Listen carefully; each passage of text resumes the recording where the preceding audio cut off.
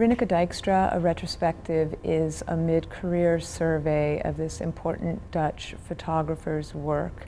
And it includes both her photographic production of the last 20 years as well as her important video works.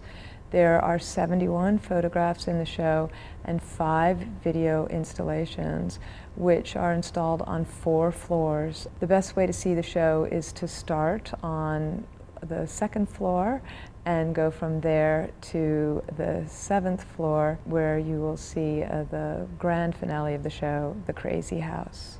Rineke is primarily known as a portrait photographer.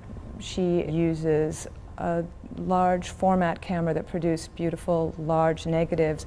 It's a slow process of working. It, it, demands a lot of concentration from both me and you know the subject.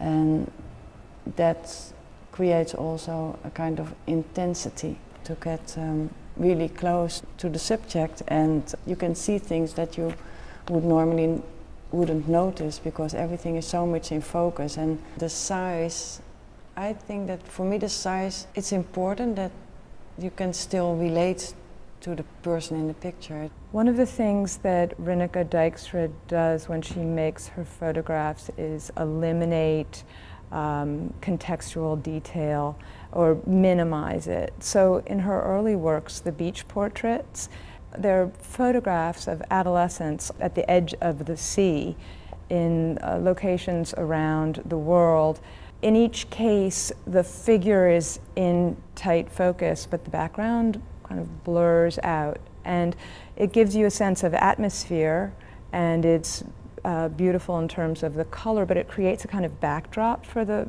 for the figure. It was a sort of a studio backdrop.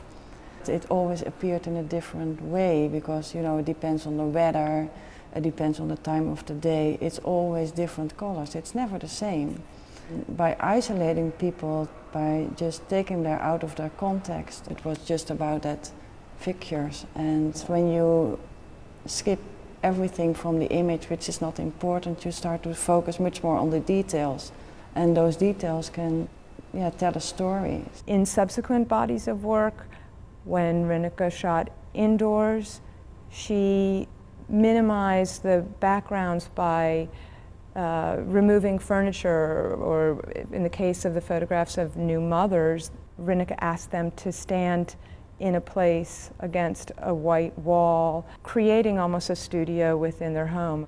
In Holland, most women give birth at home. One of my best friends, she gave birth to her first child, and I was there and I witnessed that whole process of getting into labor. So when the baby was finally there, um, she showed it to me and, and I mean, there were so many emotions at that moment. You know, she was proud, she was exhausted, she was happy, she was relieved.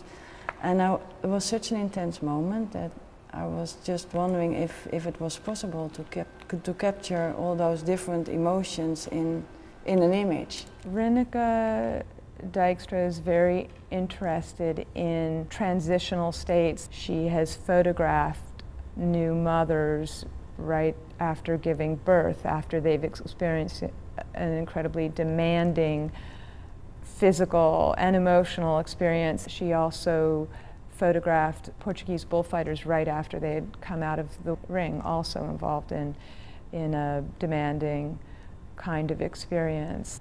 This came out of um, a portrait that she made of herself um, when she was involved with uh, doing rehab after an accident. And she was swimming, and she found that when she was exhausted, she felt she could take a picture that was unposed and captured her exhaustion, but also her emotional state.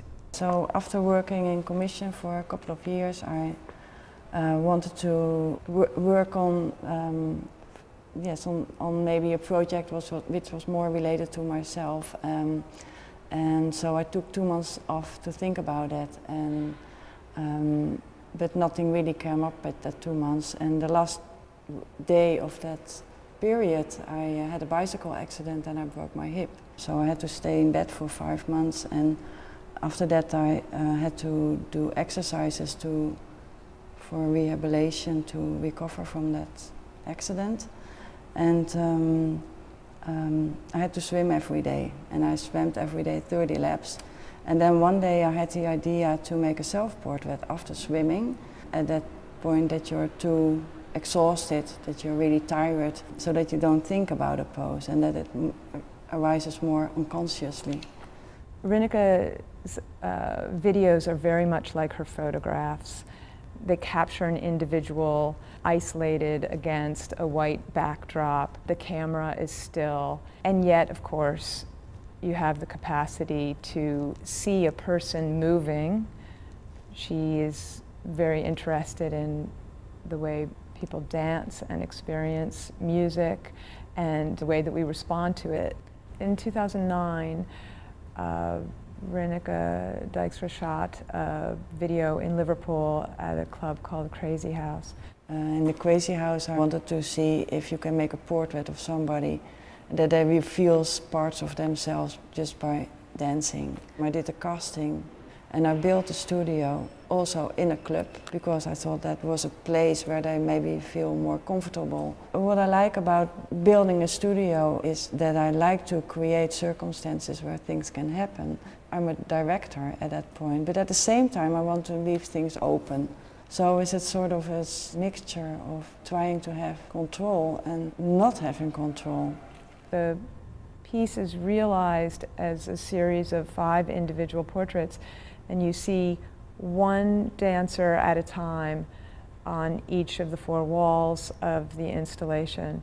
Each has a quite different personality that comes across. And in each one, you see how important the music is for them. And it is especially interesting in the portrait of Dee, for example, where Initially, she's hesitant. It seems that it's not music that she's quite familiar with. And you experience in real time, she gradually kind of um, connects with the music. And suddenly there's a line when love takes over, and she starts to completely engage the music. Recently, Rineke made a piece called I See a Woman Crying, Weeping Woman which is a wonderful three channel video installation that she made at the Tate in Liverpool. She was working with school children who had been visiting the museum and she saw them interacting, responding to artworks in the museum. So she asked to have a group of the children um, respond to a painting by Picasso that you never see on camera, but it's a painting called Weeping Woman, and so its subject is already a, an emotional one, and it's very abstract, so it, there's a lot of room for interpretation. And the children respond to this artwork in a very open and candid and speculative way, and also bring to it their own kind of worries and concerns as they try to understand why the woman in the picture is so upset. In all of her work, you're very conscious, I think, of her empathy for her subjects.